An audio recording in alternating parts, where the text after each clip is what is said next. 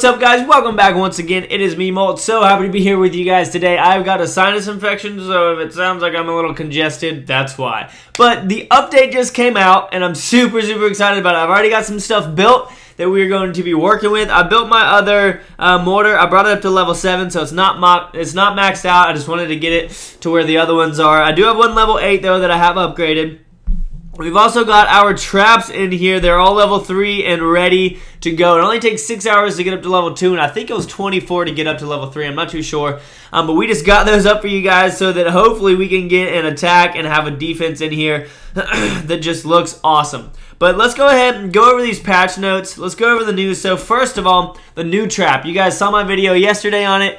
Oh my gosh, I'm so excited about this. It's going to be a game changer for sure. Next, you can so you can set the trap to air or ground, as I already talked about, and it starts off at Town Hall 8.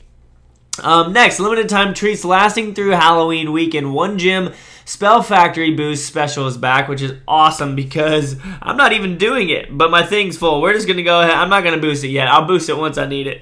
Um, so we've got that coming out. Also, harvest some bonus elixir from the special headstones. I'm going to keep all mine because I don't need that elixir. I'm going to keep them as decorations, just like the Christmas trees. One of the coolest parts about the game is like having a little souvenir from where you, uh, from how long you've been at the game. So, uh, next, clan profile and clan search. Specify your clan's war frequency, and location in the clan profile. You can also search other clans by war frequency, location, member count, and clan points. That's awesome. It's going to make things a lot more easy uh, for everyone. And for those of you who love Clan Wars, I like Clan Wars, but I don't do them too much. Um, but for those of you who really, really like Clan Wars, then that's a great way for you guys to search out new clans. Now, me, Av, and Nick are going to be doing uh, Clan War for sure and our new clan, so definitely be ready for that. Next, new mortar, as we already showed you guys at Town Hall 8. I got a new base build coming out for you guys. I've already implemented it in this design, so I'll go over that with you guys, and also look forward to a base design video that is going to be coming out very soon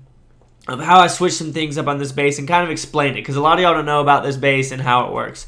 Uh, next, boost all buildings at the same time. So you can see uh, I could come over here to my barracks and I can click boost for two hours for 10 gems or boost all for 40, uh, which is really, really cool. it's just going to make it easier for us. Like it's not a game changer or anything, but it's just going to make things easier as you as you work and play through the game. Also, um, the army buildings pause during maintenance, which is awesome. The uh, loot buildings like gold mines, elixir, or dark elixir drills and things like that. Why don't we go ahead and do that? We'll just boost this so you can see boost all one day. Yes, please.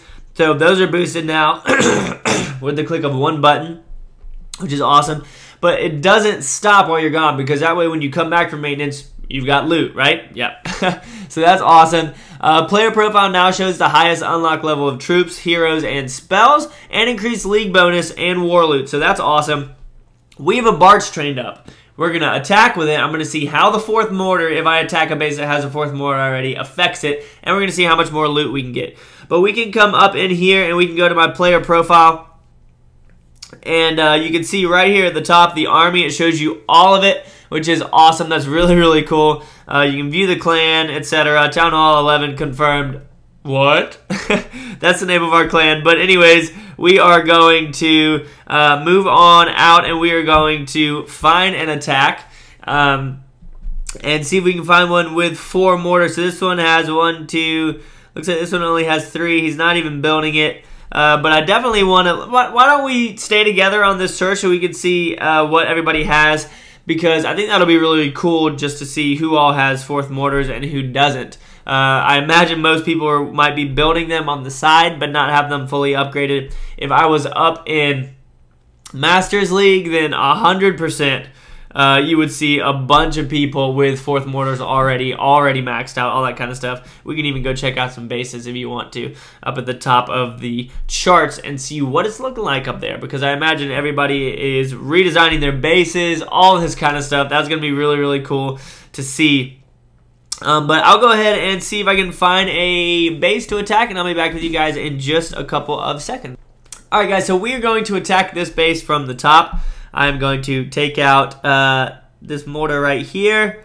See if we can get... Oh, and also, look at that lightning spell. They look so freaking sweet now with the bats coming out. Um, we're going to take out this one as well. Look at the bats. Watch it. Boom! It looks so freaking cool. Uh, Supercell crushed that for sure. And let's go ahead and Barch this. This guy does have a gem box on the outside. He doesn't have his fourth mortar up yet. He is building it over there on the side, as you can see. We'll just drop our king down to help out with a little bit of a distraction. Let's drop some bats on these fools over here and take all of them out. We are going to get up into this base. Once we break through that wall, I'm going to use the king's ability. How did I not take out all those troops? That's annoying. So once we get all the barbarians around him, we're going to use the king's ability right there. He is going to go crazy. Uh, he does have single target inferno towers, which might not end up too well for my king if he gets targeted. Um, he's already running into the center of the base. We're getting a good amount of gold. I definitely want to get in here and uh, get this gold storage over here on the left. That inferno tower is wrecking my troops because it is single target. Uh, but we did get two of the gold storages. And now we're working on the center of the base. I hope my queen doesn't get targeted down. Let's go, queen. Take out that Inferno Tower. There she goes. We're going to use her ability so she doesn't get targeted for too long. Take out that X-Bow, and then hopefully take out that Dark Elixir storage as well. But she's about to get focused down and die in 1-2 now. she got taken out super, super quick. Um, we got 45%. We got the Town Hall, too, and this base is upgraded pretty well, I would say. Um, he does have two things building over here. Looks like, uh, I'm not even sure what, maybe some traps.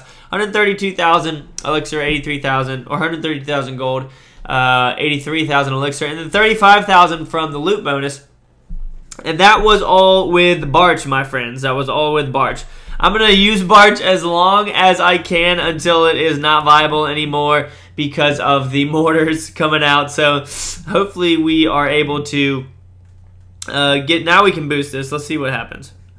So yeah, just just boost for, for a day or for two hours uh, for one gem. Create those spells, get those lightning spells up and working, and fill the rest of this out. But that is going to be it for this episode, guys. I just kind of wanted to show you guys uh, the update, talk about it with y'all, see how it's looking. I've got some gold, and I don't know what to do with it. How much is it? I'll save it to upgrade my mortars because um, our wizards are maxed. And we're just going to be farming. We're going to be farming, especially with all this new loot bonuses that are coming out and whatnot. So this is going to be great. But thank you so much for watching, guys. I really, really do appreciate it. And as always, make sure you keep calm and clash on for me, right? I'll see you guys later. Peace.